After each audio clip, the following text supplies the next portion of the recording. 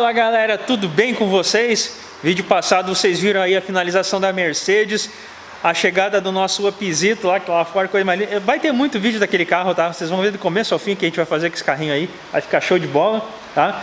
E hoje aqui, ó, vamos fazer suspensão da EcoSport, tá? Vamos mexer que tá fazendo uns barulho. Vamos resolver os probleminhas aqui dessa X1, tá? Uma X1 vazando óleo. E vamos começar a desmontagem do cabeçote desse Peugeot 206 SW aqui, beleza?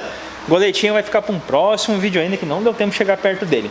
Então agora, vou diagnosticar a Eco, já vou pedir as peças da X1, vou lá na Austin, vocês vão me acompanhar nisso aí. E começar a desmontagem desse carrinho aqui para a gente poder começar a fazer o cabeçote dele, que está vazando na junta cabeçote, vaza óleo ali na junta, bem naquele cantinho que é crônico. Se você não viu um vídeo desse, ó, clica aqui em cima, tem um link do Peugeot preto que a gente fez aqui, mesmo defeito. É isso aí, turma. Vamos sair aqui, minha máscara tá aqui dentro. Tô indo lá na Austin e vou passar numa outra autopeça aqui, pegar umas peças para EcoSport ali, tá? Daí eu tô usando uma outra câmera, uma câmera de ação, que é uma câmera melhor para fazer esse tipo de vlog, assim, não precisa de tanta resolução, né? Não precisa de zoom pra gente poder gravar, beleza? Ó, já vou botar o cinto aqui, botar minha máscara, tô saindo pra rua. A nega vai junto comigo. E é isso aí, ó, a nega, ó, a nega tá bonitona, cara. A nega tá gatona, ó. É isso aí, vambora, vamos lá. Diz aí se estão gostando desse formato de vídeo. Ai, não tem direção hidráulica esse carro. É, vocês estão gostando, né? Já vamos lá, na Austin a gente grava um pouquinho. Fala turma, acabei de sair de dentro daqui da Austin, ó. Tá aí a nega aqui, segurando as peças originais BMW para BMW. Olha aí, galera. É isso aí. Tava eu lá dentro, por isso estou usando máscara, né? Aqui dentro do carro eu posso tirar essa porcaria. Dentro do carro eu posso, lá na rua eu boto, tá? Bom, deixa eu botar o cinto e sair dirigir que a gente tá atrasado. Bom, pessoal, chegou aqui, ó, já vou começar a desmontar isso aqui tudo, tá? É assim, ó, isso aqui é bem simples, tá? Não precisa ter grande coisa, ó. Vai tirar o parafuso daqui, vai tirar o parafuso aqui de baixo, tem uma outra aqui mais para baixo. Você vai sacar todo esse conjunto, vai tirar os parafusos da frente, vai trocar a junta daqui e uma junta que vai aqui embaixo, ó. Já tô com as juntas aqui, a junta de cima, já vou aproveitar e vou botar um filtro de óleo novo também, que ele tem uma guarnição que veda aqui, ó. Lavou tudo, trocou, tá resolvido aqui o vazamento da X1, não tem problema. Pois só ficar de olho no alternador, que quando vaza muito óleo no alternador, às vezes pode comer ali o rotor, tá? Beleza? Então, se você tiver uma X1, uma, toda, uma, toda a linha BMW que é um motor 300, é, N20 turbo, é, tem vazamento nessa região, resolva rápido para não perder o alternador, beleza? Aqui, então vou fazer aqui, já vou montar, depois eu mostro vocês ela funcionando. Não tem muita frescura aqui não. É, dá mais ou menos seis parafusos aqui, tá? Então já resolve isso aqui e é rapidão. Da EcoSport já chegou aqui, ó. Terminal de direção, correia e o retentor, tá? Rapaz reclamando muito, pediu para botar dois amortecedor, coxim, batente, coifa e não precisa, tá? Não precisa mesmo. Eu tinha montado já o orçamento para ele aqui, mas desmontando, acabei achando outras coisas aqui, tá bom? Terminal de direção todo errado, solto, assim, ó fazendo barulho pra caramba. Ele já tinha botado os bieletas, já tinha trocado os amortecedor. Aí, ah, vamos trocar de novo, que não sei o que. A gente vai vir ver aqui. É, fizeram uma montagem errada aqui no coxim, tá? É, porque o coxim tá fazendo um rangido. E a bateçada desse lado aqui, que tava batendo pra caramba, o terminal de direção quase caindo, tá? Então fique de olho aí. E lá de cá o vazamento forte mesmo. Retentor do vira, que daí molhou a correia. A gente vai trocar a correia e o retentor do vira. Não tem jeito mesmo, tá? É isso aí, bora lá, vamos embora. Tem muita coisa pra fazer aqui hoje. Pessoal desse canal aqui, ó. Aqui o cliente reclamou que estava fazendo barulho no amortecedor, tudo queria botar amortecedor que acabou de fazer a manutenção em outro lugar, tá? Olha só, botaram um coxinho paralelo aqui, nada contra os coxinhos paralelo, mas assim, ó, já que ele é paralelo, abre e lubrifica. O coxinho não tinha folga. Qual é o problema do coxinho? Dá para ver até que aqui, ó, machucou um pouquinho. Não apertaram a porca central, tá? Ela ficou trabalhando aqui, ó, ficou roçando aqui dentro. E o coxim seco, seco de graxa, não tinha nada, nada, nada de graxa. Então que é o seguinte, o coxim tá, tá tranquilo, não tem problema. Vamos fazer o seguinte, enchi de graxa, vou montar, vou apertar, apertar a porca central ali, né? Não vamos deixar solto. Imagina, porca do coxim solta, terminal de direção solto, quase caindo, vai fazer barulho pra caramba, né? Aí o cliente chega assim, ó, troca os amortecedores, coxinhos, batentes, tudo. Nem sempre o cliente quer é o que ele precisa. Aí, porque aí, por isso que a gente fala assim para o cliente, ó, deixa o carro na oficina, vamos fazer uma avaliação para daí descobrir o que você realmente precisa, tá? Manutenções de catálogo nem sempre é o necessário, beleza? Deixa eu montar aqui tudo certinho, depois a gente conversa um pouquinho. Vamos lá, gurizada, tudo bem com vocês? Voltamos aqui com a X1, ó. Olha ali como é que é. Você tem que desmontar praticamente tudo, ó. Tem que soltar o módulo. Eu já deixo o módulo amarrado aqui em cima do capô com aramezinho, ó. Tem que soltar aqui, ó, o coletor, senão você não consegue tirar um parafuso ali em cima, tá? E agora tá aqui o nosso filtro, tá? O corpo do filtro aqui, ó. Olha as marcas de vazamento aí. Vocês estão vendo aí? Olha tanto de marca de vazamento que está nesse filtro aí. E o que acontece muito aqui é o seguinte, calor, pressão, tudo, ó, a junta diminui, ela encolhe e provoca os vazamentos. A gente vai trocar essa aqui e aqui fica aqui dentro. Ó. Agora eu vou lavar todo esse sistema aqui, vou desmembrar mais uma parte e a gente bota as duas juntas novas aqui, ó. Que a gente pega lá na BMW, tá? Não tem o que fazer.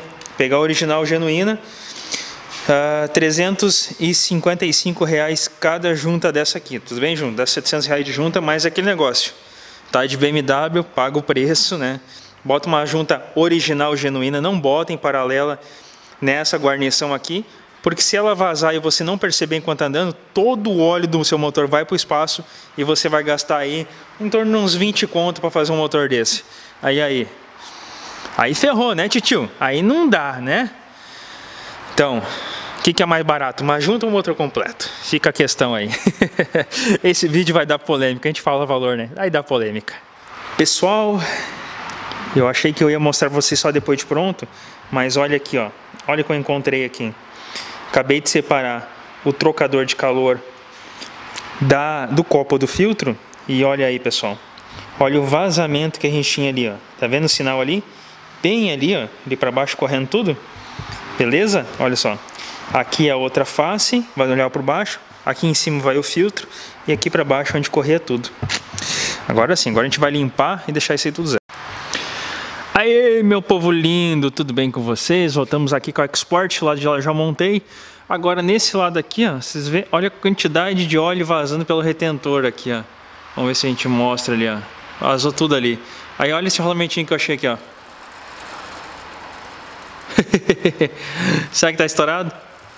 Bom, aqui vai um rolamento 6203, a gente vai ter que pedir isso aqui amanhã de manhã, tá? Daí depois a gente pode terminar de montar esse carro aqui. Infelizmente eu não vi isso antes, tá?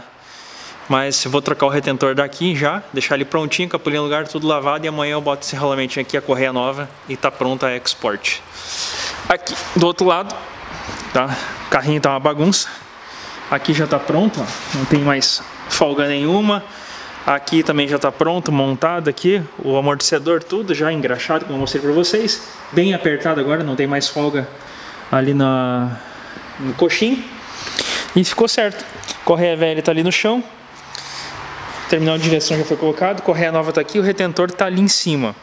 Então vou montar só o retentor. E aqui parou por hoje de novo. Eu volto para X1 que já deve estar tá pronta lá nessas peças no banho químico.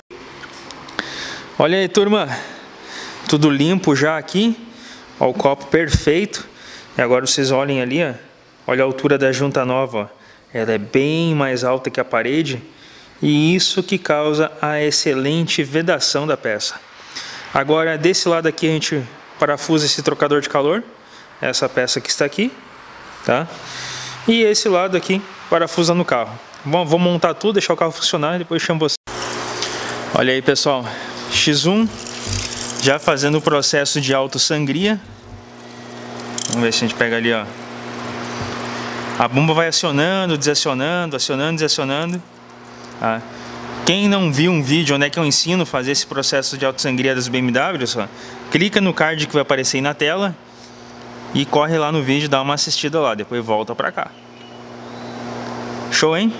Deixa ela aqui fazendo todo o processo dela que aqui tá chegando agora, chegou algumas peças aqui para nós, tá?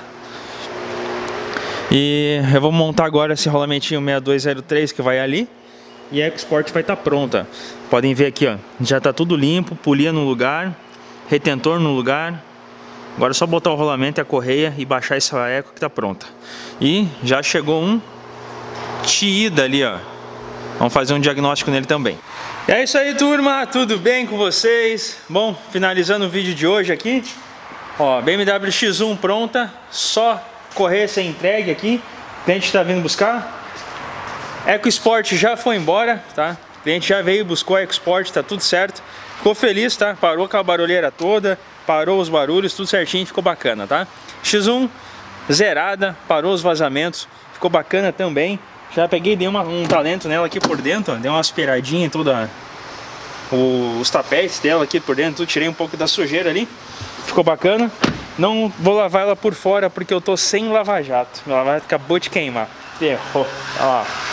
É, acontece, né? Daqui a pouco compro outro, fica tudo certo no esquema. Aqui, ó, já deixei tudo montado por cima, tudo bacana, sem vazamento nenhum, tá? Juntinhas caras, caras essas juntinhas mesmo, mas é isso aí. Peças originais, BMW ainda, meu amigo, é uma facada. Mas é o preço que a gente paga por andar numa Beamer, né? Então é isso aí, galera. Próximo vídeo, ó. Peugeot Iniciativa. Aguardem, hein? Que vem muita pedrada no canal. Até o próximo vídeo, ó. Já se inscreve, compartilha, deixa o like, comenta aqui embaixo o que você quiser. E é nóis. Até o próximo vídeo. Fui.